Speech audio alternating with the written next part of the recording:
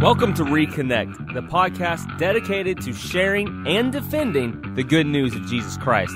That is, Jesus died for sins, was buried, and on the third day was raised again according to the scriptures for our salvation. It is through Jesus alone that we are reconnected into a right relationship with God. Reconnect us, O Lord. All right, welcome to another episode of Reconnect as we focus on sharing and proclaiming the good news of Jesus Christ, which is the message that reconnects us into a right relationship with the Lord. Uh, in the last episode, episode 32, uh, it was a Halloween special. I know people maybe uh, don't like necessarily the association of Halloween, but we talked about ghost uh, because I found a survey that said that uh, even within Christian circles, a large percentage of people are saying that they believe they can communicate with the dead. And along in those surveys, one of them was that 24% of Christians today in America claim they believe in reincarnation, uh, that people will be reborn in this world again and again. And I, I find that uh, so disheartening to hear because uh, this belief of reincarnation does not in any way fit with the biblical view of having one life and then being judged at the end of that life. Uh, and it doesn't fit with the resurrection of the dead as promised in Daniel 12, just one place in Scripture where it says all the dead will be raised. Uh, uh, so, uh, to help with this discussion, I wanted to uh, have Mike Shreve with me, and he he agreed to be a guest for this episode. Mike, how are you doing? Well, I'm thrilled uh, to be connecting with you on this Reconnect program. So, uh, listeners, I found out about Mike uh, because he somehow found my stuff online and uh, reached out to me and shared a book that he wrote called In Search of the True Light. Uh, it's a book that will be linked on this episode, so episode 33 at andywrasman.com for Reconnect. Um, you'll you'll see a link to his ministry, which is Mike Shreve Ministries. Uh, he's the pastor at the Sanctuary in Cleveland, Tennessee as well as the founder of a publishing company called Deeper Revelation Books. And he's written a lot of books himself. Online it says 13 books. But Mike, is that number accurate? Is it now 14 with your latest book on why Christians shouldn't practice yoga? Um, I think it's, I think that includes it, uh, the number 13. okay, good. So, all right, good. So, uh, 13 books, which is a lot. And uh, just seeing In Search of the True Light, I am so impressed with this book.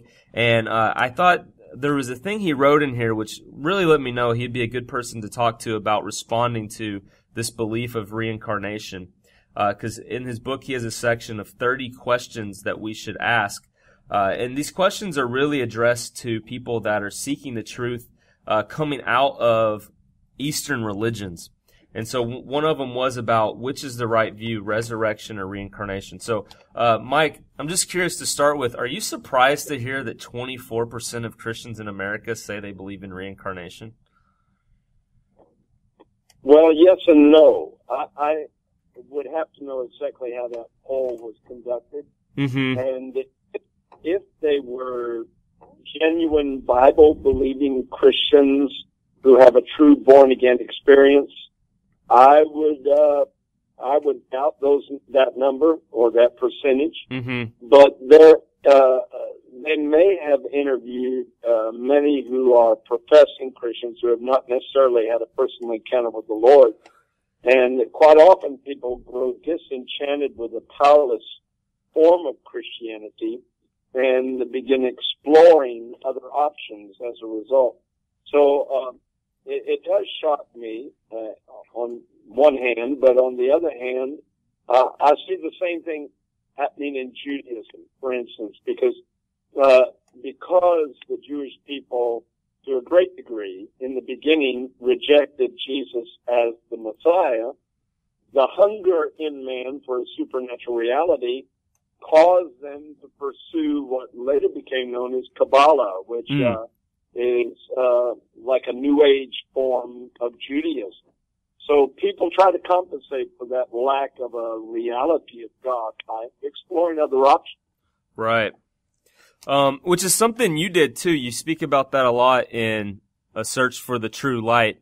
as well as you have a, a booklet which is encountering God, uh, and listeners, I'll, I'll, have links to the the encountering God booklet on his website. It's a it's a great testimony of how uh, Mike found himself believing in reincarnation, practicing yoga, and then was miraculously brought out of this through an encounter with Christ. So, Mike, I was just curious if you could share with the listeners uh, what it was that first attracted you uh, into Eastern spirituality, into the New Age movement, and what you found attractive about reincarnation when you first uh, dove into it. Well, I was raised as a Roman Catholic, and I met a lot of wonderful, humble, kind, generous-hearted people in the church, but I was never introduced uh, to a personal relationship with the Lord. Mm. And so my quote unquote Christianity was primarily historical. I, I believed in a historical Christ who died on the cross and rose from the dead, etc. But it wasn't a living reality in my life. And so when I became a teenager, I drifted further and further from religion. I became a rock musician and began dabbling in some hallucinogenic drugs uh, in the hope of not just partying, but in the hope of expanding my consciousness or being mm. awakened to a higher reality. As you know, uh, mm-hmm. many were touting that could come to pass uh, through drug use back in the latter 60s, early 70s. And uh, I had a very, very bad experience one time where I came very close to death. And uh, I don't believe it was just a hallucination. I, I, my body went into convulsions. I was really in bad shape. And when I came down off of that experience, I realized I was playing Russian roulette with my life. I, I was not on a path that would lead to any kind of resolving of the issues and the questions that I had in my heart. So, uh, so I made an abrupt and radical change. I, I decided never to do drugs again, mm. and I kept that promise to myself.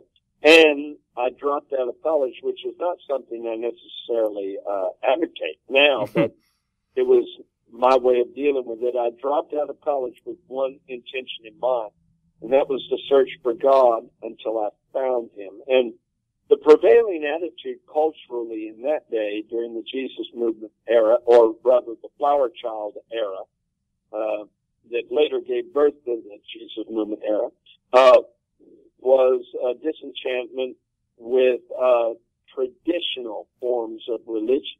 Mm-hmm. and uh, uh, becoming enamored with Far Eastern expressions. Uh, you know, the Beatles were studying under their Swami, and so I met an Indian guru and became a very devoted follower and studied uh, under uh, Yogi Bhajan and his particular sect or expression of yoga is called Kundalini Yoga, which is supposed to be an amalgamation of all these different types of yogas into one. Mm-hmm. And uh, I became very passionate about it to the point where I was spending 12 to 14 hours a day in solitude Wow. Uh, with a very disciplined life. Uh, every day started off with a couple of hours of meditation, and then the whole day was regimented uh, with various spiritual exercises. And uh, I, I thought I was getting closer to God because there was a semblance of peace in my life. Uh, of course, I was totally focused on eternal things and and not indulging in temporal things at all except the necessities of life. But uh, I still had an empty heart. And uh, what happened uh, very shortly in my testimony, uh, the Tampa Tribune newspaper did a big article on me uh, explaining how I was teaching yoga at four universities in the Tampa area, and I was running a yoga ashram at the time too, a commune where people study on a more intense level. And uh, I thought that article would alert more people to my uh, classes and I'd see a dramatic increase. Instead, it alerted this radical prayer group in town that believed that intercession can make a difference in their city. Mm-hmm. And, and so they read that article and they said, not on our watch. We're going to pray over this person. and they put me on a 24 hour prayer chain where somebody was seeking God on my behalf every hour of every day. Yeah. Uh, wow. Uh, and so for three or four weeks, um, um, uh, the subject of a lot of people's prayer. and, uh, and God, thank God, He answered, uh, in a dramatic series of events that all linked together. First of all, I got a letter from an old friend of mine. Uh, he and I had dropped out of college to study under different gurus at the same time. Well, he tells me how he walked in a church and heard an audible voice say Jesus is the only way, and he felt the Spirit of God come upon him, and he said he was born again. Mm-hmm. Well, I wrote him back and explained to him that I was happy he had found Christianity as his path, but that I could not confine my beliefs to one religion, my belief system to one religion. So that letter weighed on my mind. I just could not imagine how Larry could opt for a single path like Christianity. And so I was thinking deeply about it. And then uh, one day I decided, I came to the conclusion that maybe I had misjudged Christianity and maybe I had overlooked uh, something about Jesus' teaching that was vital. And, and so I decided if I was going to be fair with God, fair with myself as a truth seeker, I would not be closed-minded. Mm-hmm. So I dedicated an entire day to Jesus. And I said, if you're real, I believe you'll give me a sign today. And I prayed all day long. That afternoon, one of the members of the prayer group, who happened to be a former student of Yogananda, Mm-hmm. who uh, is uh, very famous among people that are devoted to Eastern religions in the West. In fact, you're out in California. Uh, uh, you're probably not too far from Self-Realization Fellowship. Uh, but anyway, uh, anyway, he was one of his former students, and he was a member of this prayer group, and he was a Christian now and had departed from the practice of Eastern religions. And he was two miles away from me that afternoon when I stepped out on the road hitchhiking. Mm. He was walking into a laundromat. The Holy Spirit spoke to his heart and said, get back in your vehicle and start driving. That's all the instructions God gave. And he thought it quite strange. Uh, whenever he felt an impulse, he would turn. And God led him to the very spot where I was hitchhiking. And he was probably one of the only people that could have led me to the Lord because he absolutely understood everything I believed in. And, uh, long story short, I knelt down with him in the back of the van and gave my heart to Jesus within about an hour. Uh, because when I stepped in his van, I looked up and he had a picture of Jesus taped to the ceiling of the van, and I knew this was the answer. Yeah. This was the sign I've been praying for all day long. Uh huh. And the, the rest, praise God, is history uh, of a pivotal point in my life where everything changed. Wow, tr- truly amazing. I even like just hearing that testimony. When I when I read it in Encountering God that you wrote, it's it's online for free too, listeners. This Encountering God, it's something you could share with anyone that you know is into Eastern spirituality, New Age stuff. He's written it in such a way that he uses their language that they would recognize and understand. Um, and it's it's done in such a loving manner too that like you can definitely see his heart for the lost in it. So I highly recommend uh, getting that free PDF on their page or ordering some of these to share with people. Uh, but Mike, when I when I first read that, I was really convicted on uh, just how this group prayed so much for you and just the power of prayer. Um, because I, I think oftentimes when it comes to sharing the gospel, maybe we lean on our own intuition or abilities, but really it's it's we, we need to be starting and ending and using prayer throughout the entire process when we are uh, seeking to share the gospel with someone. So I, I was really touched by that. Yeah, it's very No, very go powerful. ahead. I, I was just saying I agree.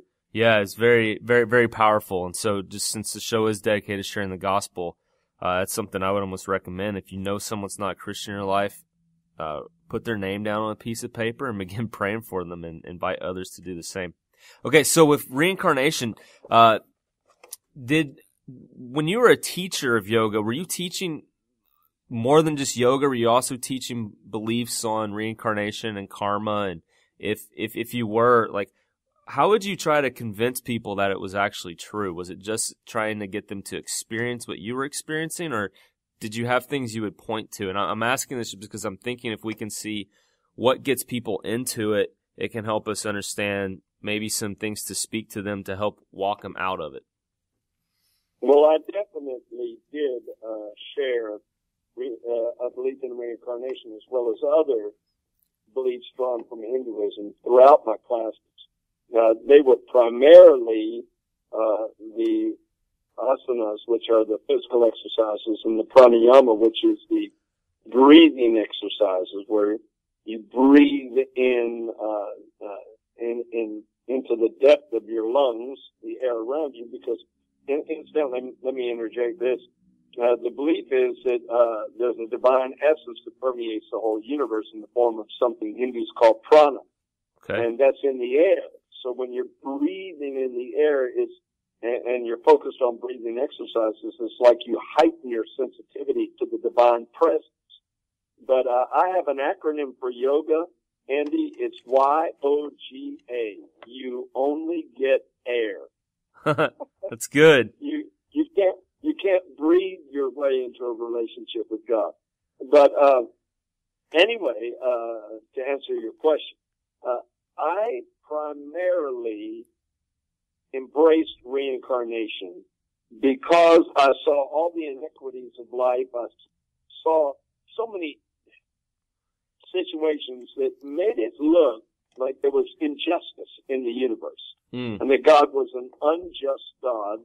One child is born perfectly normal, another child is born with terrible physical disabilities or mental retardation. Uh, one person is born into a prosperous family, another person is born into abject poverty. One person dies at an early age, another, the wicked, may live to be over a hundred. Nothing seemed equal and fair. Mm-hmm. And so my logic, I, I didn't really think it through, I don't, uh, mm. I don't believe at this point, I just grasped at it because it seemed to answer that particular question that was resounding in my heart. How can life be fair? And, right. and if you die at an early age as a child, you haven't had an opportunity to learn the lessons that others learn in life or to make the choices that prove whether or not you're worthy of eternal life, which was my mindset back then. I right. felt like it was something you had to work your way to attain. Uh, so it just, it did not make sense. Yeah. I have explanations now, but that was my primary motivation. Very and, uh, it was, in, in a sense, it was my attempt to preserve the integrity of the character of God. mm-hmm. That, uh, is the only way he could be a just God by giving everyone a fair chance at a fulfilling existence over and over again until they completely fulfilled their destiny. Yeah. So it, so it just seemed appealing or more fair. That's pretty interesting. Cause I'm, I'm curious cause I, I was asking this question because I, I went on a tour of a Buddhist temple once and it was in a large group and I didn't get to necessarily interact as much as I would have wanted to with the guide. Uh, but she led us into a room and sat us down and began to teach some about what they believe is Buddhist. And she did mention reincarnation within their religion. And I guess for some reason, because she knew the people there weren't Buddhist, she felt compelled to try to give some justification of why this is true. Um, and uh, she went with people that had uh, past life memories, uh, which I don't think many people have past life memories, which I would say would be something that definitely goes against reincarnation and can even show why this view of reincarnation is actually unjust because the people don't know why they're even in the situation they're in in this life. They don't know what they did in the previous life, if this was true, um, to get them to where they are now. But she, she began sharing stories of, uh, different kids that for some reason seem to know things that they shouldn't know. Maybe know things from World War II, but, uh, they weren't born during the era. And then throughout certain things, they realize, oh, you're actually the soul of Uncle so and so. Have you heard of people trying to do studies in that to show past life experiences or people having memories of previous decades, uh, which they weren't alive in, uh, and linking it up with other people which have already been deceased as justification for reincarnation? Uh, yes, I have, Andy. I, I, I haven't researched it deeply myself Mm-hmm. uh, because I know what I believe concerning that.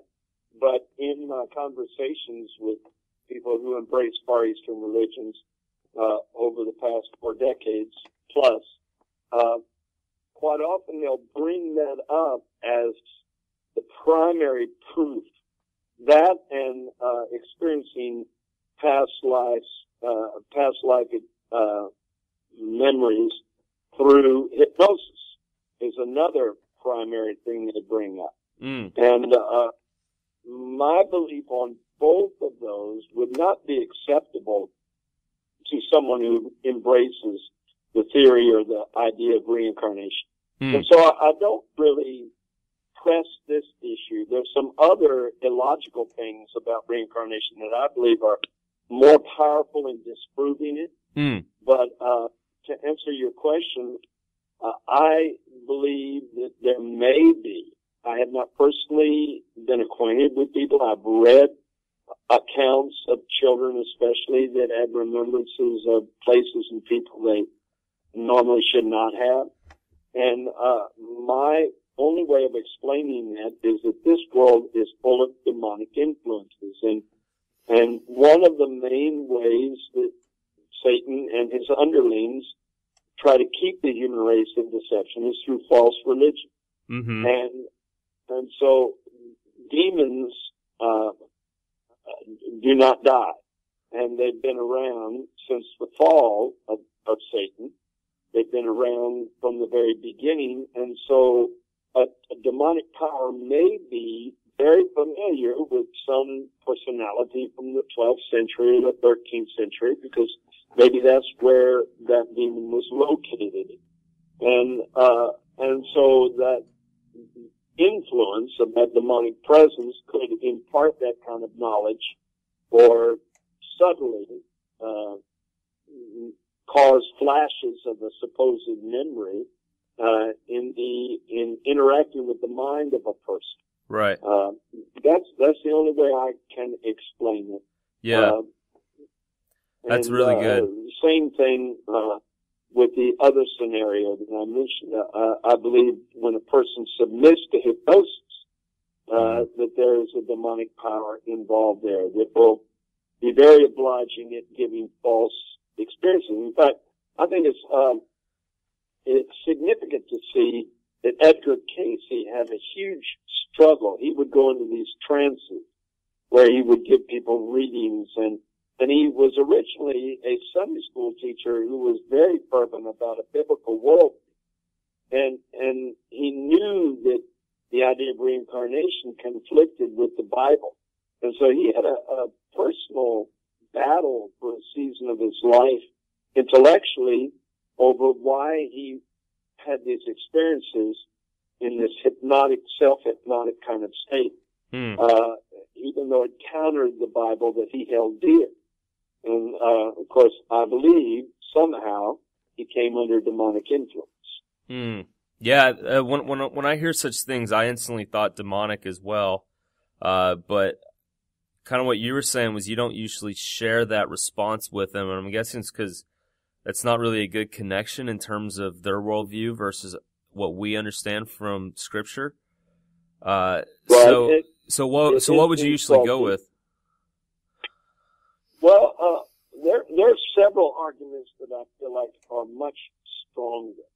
Uh, in, in my book, In Search of the True Light, which incidentally, I wrote for people of my former worldview. Many Christians read it and are benefited by it. It compares over 20 religions.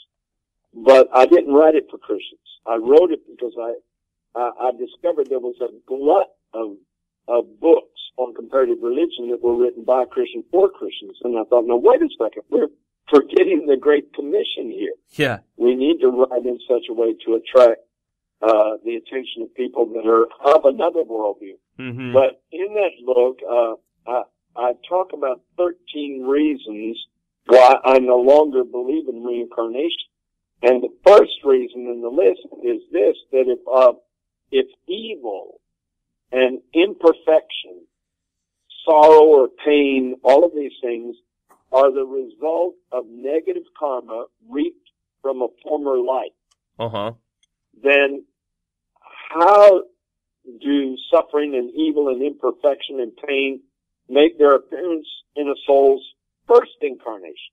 Uh, there's never been uh, proof of somebody being born into this world with a clean slate and no negative karma to read, right. and no uh, negative emotion, no negative things going on in his or her life. Mm-hmm. And so I don't think it's provable that a person uh, is the uh, the evidence of a first uh, a first incarnation of a soul on its evolutionary journey. And this bothers me too. If the soul is perfect to begin with, why does it digress into evil? Right. that progression may take place because that's the whole idea that through the reincarnation progress process brother, we progress from a less evolved state to a more highly evolved state but if that soul is pure and clean to begin with then why does it digress into evil in order to progress or progress into righteousness Mm-hmm. that doesn't make any sense What what type of answers have you heard people try to give to that, which are coming from a belief in reincarnation and karma? Do they have any? Not really Not really. Uh, no, they, that that's a question they can't really answer. yeah. And, and one of the one of the next things that really convinced me, because by the way, uh, this may shock some people, but uh, uh, one of the biggest struggles of my life theologically after I got saved was to discard this doctrine of reincarnation. Hmm. I had no problem with all the other Far Eastern trappings. Uh, and upon salvation, I divested just about everything else from that belief system. But I had a hard time getting rid of my uh, ideas concerning reincarnation. It took me about a month to sort it all out. Wow. And uh, one one thing that uh, really spoke to my heart was something you mentioned a while ago. Uh, that if there is no remembrance ordinarily of former evil or negative behavior that reaped a consequence in it, uh, uh, uh, a following life, Right. then you can't learn from the experience. It's it's not beneficial because you don't know the behavior that caused the problem, and so you can't rectify the situation or you can't resolve it by implementing a, a new and better kind of behavior. Yep. And so uh, the process doesn't make sense because of that. If we could remember our former activity in previous life and see how it does evolve into very negative experiences, then there's a lesson that's easily learned. Right. But if, if we're completely ignorant of it, then nothing can be learned. Yeah. It has no value. And there are different religions that hold a reincarnation, and I'm sure they they have very similar beliefs. Um, but do which which religions hold to reincarnation? That'd be something I think would be good just to hear, and then also know uh, they all- these religions don't hold to any knowledge of it in the person of what they did before, which is really problematic. But to my understanding, they don't even know how they're doing in this life either to know if they've even progressed or degressed compared to their life before either. So that they don't really have any certainty that they're even moving forward in this life. Is that pretty much how it is in all the religions that hold to reincarnation? They don't even know where they stand in this life based on their progress now? Well, of course, it makes them des- desperate to be uh, those that are sensitive and those that are uh, passionate about truth or finding truth, living truth. Uh, it makes them all the more driven. Uh, the guru I studied under taught us that it might take an entire lifetime of being totally devoted to yogic principles to be delivered from the cycle of rebirth. Hmm. And then he said uh, it may even take two or three lifetimes of living the life of a yogi. Uh, and, and so we were driven by this deep desire to escape the cycle of rebirth and, and to move up to the next higher spiritual level. So, uh, I gave up everything. Uh, Hmm. and And part of my main motivation was I loved God. I, I deeply loved God. I just did not know how to get to God. And I think that's something that some Christians dismiss. They don't really realize that there are true lovers of God in other religions. They're just in this muddled mess and this maze of false ideas that prevents them from getting to God. But, uh, I long for God. And, and, and because of that, I, I long to get out of this fleshly kind of existence where you're so insensitive to spiritual things. So, uh, mm-hmm. like I told you in the beginning of the program, I, I disciplined my life radically. Mm-hmm. Um, every day it was hour, uh, every hour has some type of spiritual discipline associated with it. Even eating, even, uh, uh, breaking for a meal had some kind of spiritual discipline associated with it because I wanted to escape the cycle of rebirth. Yeah. And, uh, a lot of people are like that. Uh, one, one thing though that also convinced me, uh, that it wasn't logical. Uh, I, I, read the scriptures, of course. Mm-hmm. As a Christian, I, I, I read there's one life and then the judgment. And then I read how, the Bible talks about the marriage supper of the Lamb when Jesus comes back again. And uh, I, I'm of the belief that uh, the marriage supper will take place after the Lord sets up His kingdom on the earth completely. Uh, different people have different beliefs in that. Mm-hmm. But my main point is not the timing. My main point is that he said we would sit down with Abraham and Isaac and Jacob. And I thought, well, how will we recognize that? Mm. If they continued on their uh, evolutionary journey and they've incarnated as other people, uh, then how would you know it's Abraham? How would you know it's Isaac? And yet Jesus talked about certain individuals maintaining their identity for all eternity. Mm-hmm. So I thought, wow, if, if Jesus uh, discarded these ideas about reincarnation, then I certainly shouldn't entertain them. Uh, uh, because uh, he, he didn't teach reincarnation. Yeah, not and, at all. Uh, of course, uh, I might mention right here the uh, the guru I studied under taught us that Jesus was an avatar. Yeah, and of course, people people have a different meaning attached to avatars now with video games uh, and with the recent movie that came out. But uh, in Hinduism, uh, the word avatar means the incarnation of God. And according to many uh, Hindu believers, there have been many avatars. Uh, yes. In fact, uh, the teaching is that Buddha was an avatar, that Jesus was an avatar, among many others. Many of the gurus that have come to this country, like Meher Baba, he claimed to be an avatar. Different ones. Uh, so, uh, but he said this, uh, Yogi Bhajan said this, uh, who incidentally confided in some of his closest followers that he himself was Jesus Christ reincarnated, huh. uh, which is the ultimate deception, you know. But he taught that if Jesus was an avatar, if Jesus was an avatar, then he could only speak the truth. Mm. And later on, that and that kind of came back to me and helped me extricate myself from all of the other beliefs that Yogi Bhajan promoted, because I thought if Jesus could only speak the truth, then I need to inspect what he said. And when I started inspecting what he said, his words went directly contrary to much of what Yogi Bhajan taught. Right. So I thought that this is way too contradictory. Well, that, that course, that's the name of your ministry there or your yeah. outreach, contradict. Mm-hmm. I thought there's no way, no logical way that Jesus could have been an avatar within the framework of Hindu right. uh, theology and teach what he taught. Because he didn't teach reincarnation, he taught resurrection. Right, absolutely. Uh, and one of the reasons you give here, speaking of uh, contradictions, you said the doctrine of karma and the Hindu belief in cycles of creation seem to be in direct conflict with each other.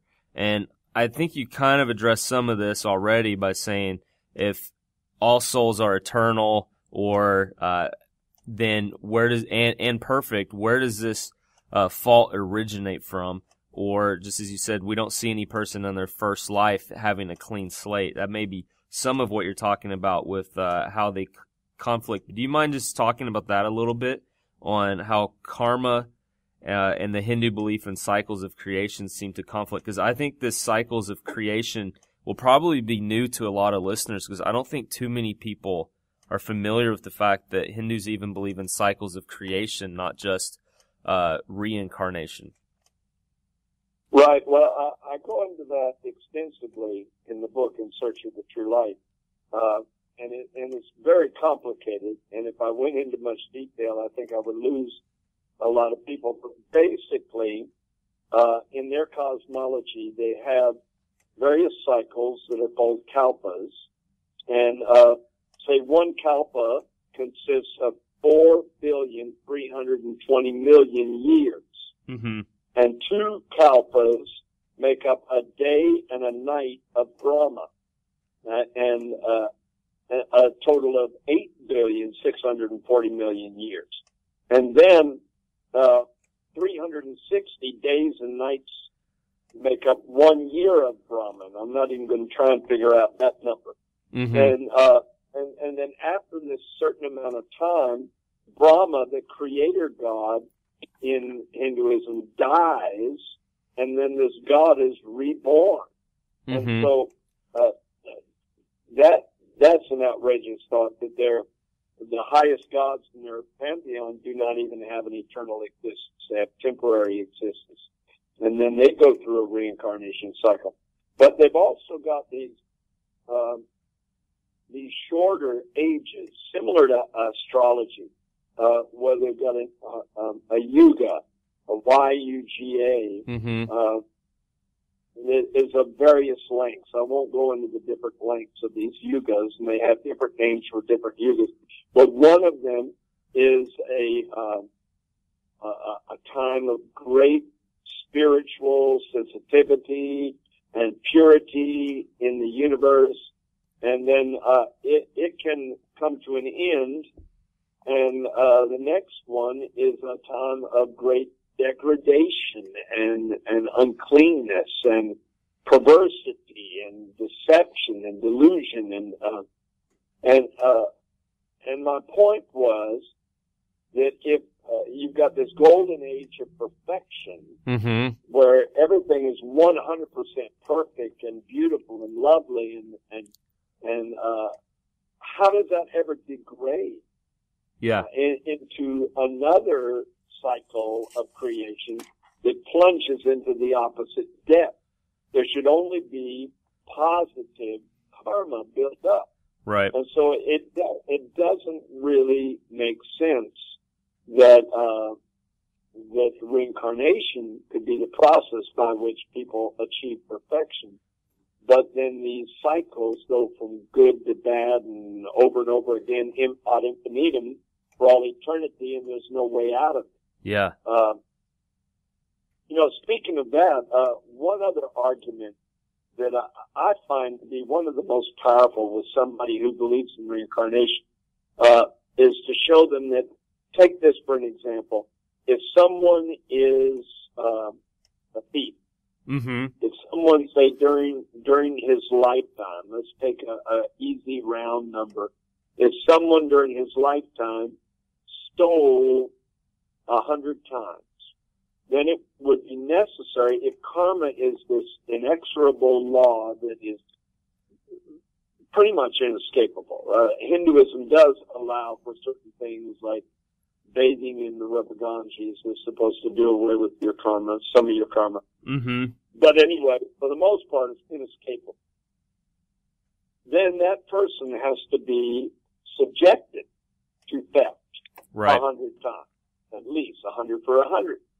Well, then those maybe there's twenty thieves that steal from this person, each of them five times. You know, just to throw some numbers at them. Then every one of those thieves that stole from this person five times, they have to be robbed five times. And mm-hmm. then the robbers that robbed them have to be robbed. And then the robbers that robbed the robbers that robbed them that robbed the original thief have to be robbed. And so it, it it, it just grows exponentially Mm-hmm. into something that, that is absolutely impossible to solve. Mm-hmm. There, there's no way to resolve all of that negative karma. It, it's out of control. And the other thing that really blows my mind, uh, or at one point it blew my mind when I tried to wrap my mind around it. When I looked at it logically, when I looked at uh, reincarnation as instead of an adherent, I, I stepped back and I thought, I'm going to look at this with logic and see if it makes sense. Then one other thing that bothered me is that if uh, if one of those thieves robbed the initial initial thief Mm-hmm. that I was talking about a few moments ago, did that thief make the free will choice to rob the original thief, Uh-huh. or was he forced by this whole system of karma to assume that role so the original thief's karma could be paid off? Yeah. then he then he becomes an unwitting victim of this whole process. And and if he was forced into stealing from the original thief, is it just for him to then suffer for something he was forced into being involved in? Does that make sense? No, it makes complete sense. I, I think you in the book you refer to that as fatalism, right? Is that what you called it? Right. Yeah, so like things Right. being dictated upon you. And I, I even liked an argument you gave in there, doing good. If I see someone who's suffering, I shouldn't help them out of that suffering because they deserve that lot that they're currently experiencing. And if I help them out of that suffering, am I then even doing bad because I'm helping someone? Because I'm technically relieving the negative karma that they should be experiencing.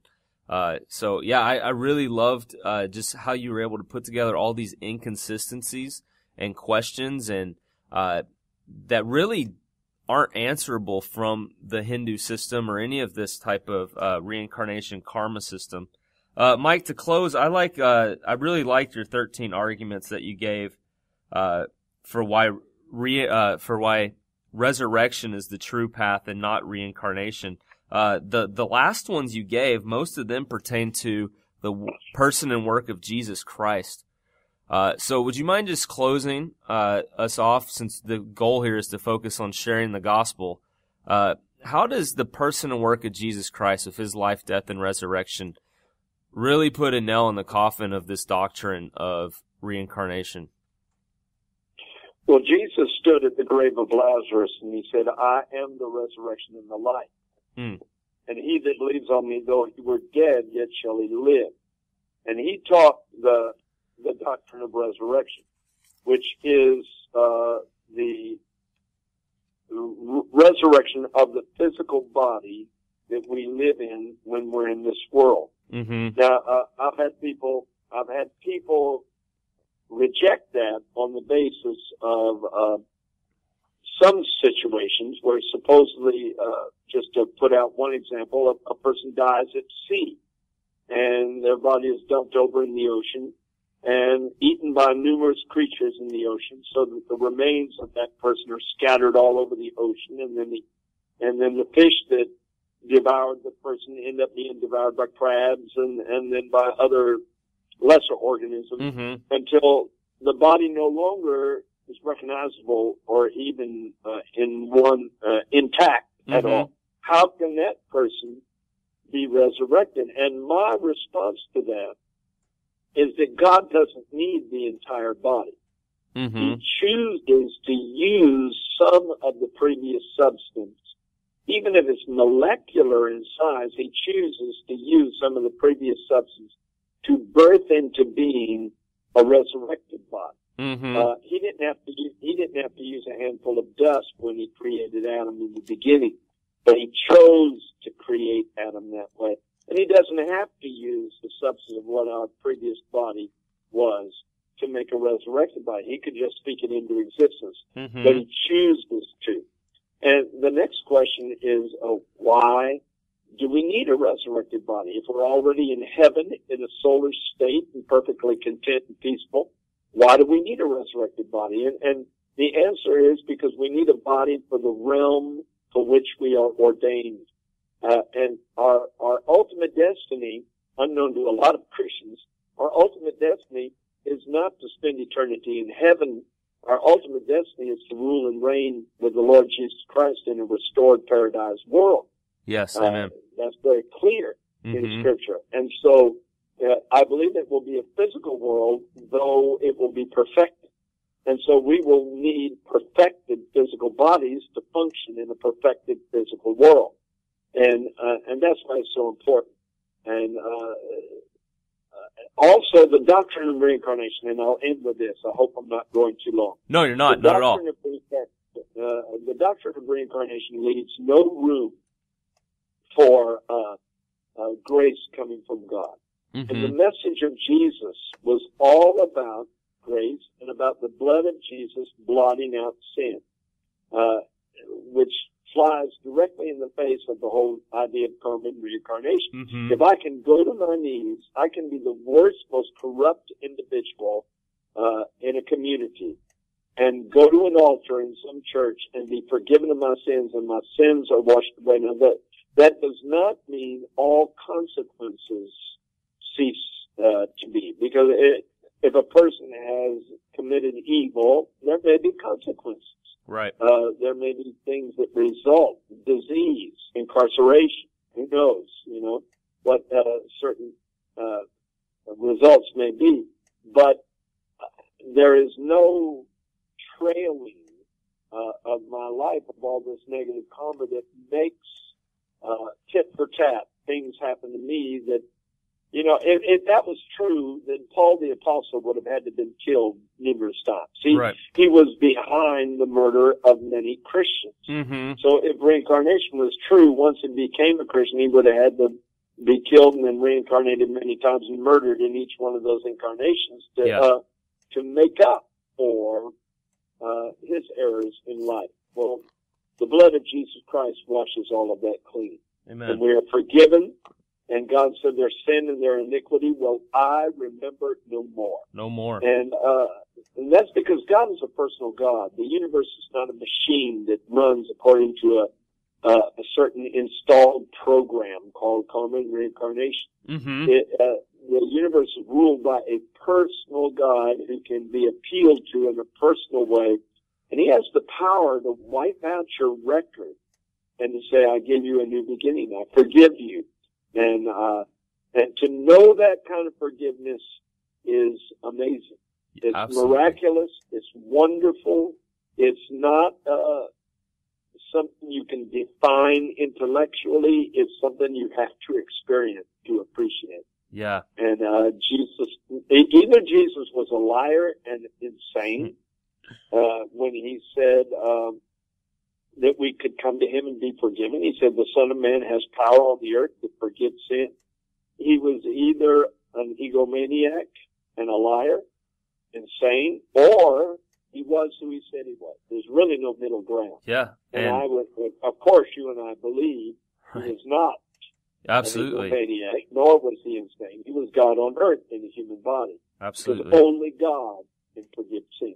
Right. And uh, that's the most marvelous thing about Christianity. Absolutely. the hope of the resurrection, exemplified by the Lord Jesus himself, because he rose from the dead. He said, because I live, you shall live also. Yeah, and with the um, and the good news of this is that we have certainty of that salvation because his tomb is empty. Um, and so I think right. that's that's really what helps me when I speak to someone who uh, is trapped in a different religious system, knowing that what I'm sharing is really good news and it's the best news they're ever going to hear. And even if they reject it, I tell them, I go, I don't care where you find yourself down the line in the future. This word's going to be with you and it's true and it's the best news you'll ever hear. and, uh, absolutely. And it, it, just makes uh, speaking this with others uh, that much easier, I think, when we see and understand that they really have no hope in the system that they're in, and this is the only way that they will have life. Um, so, you know, one last thing I'd yeah. like to share is that uh, the man who won me to the Lord was very wise, mm. because right right before we were about to pray, and I was about to accept Jesus as Lord of my life, uh, my intellect kicked in, and I said, "Kent," uh, I said, "I got to be honest with you." before I pray this prayer, I can never give up my belief in reincarnation. I'm sold on reincarnation. It's the only way that I believe things function. And he just looked at me with this big smile, full of love, and he said, don't worry about that. Just try Jesus. And I said, well, Kent, I got another problem area. I don't believe that a loving God would ever send anyone to hell. I don't believe in hell. Mm. And he looked at me again with this big smile and said, don't worry about that. Just try Jesus. Mm-hmm.